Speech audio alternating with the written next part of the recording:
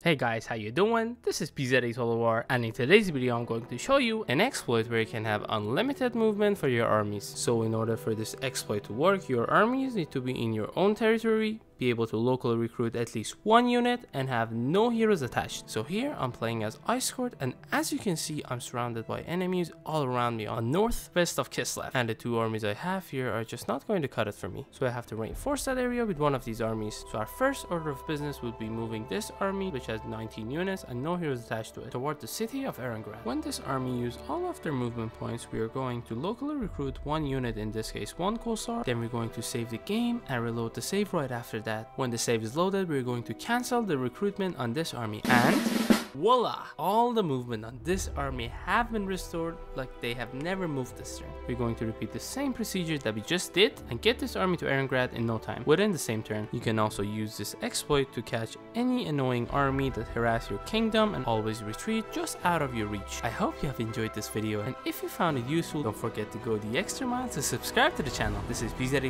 War and i'll see you in the next one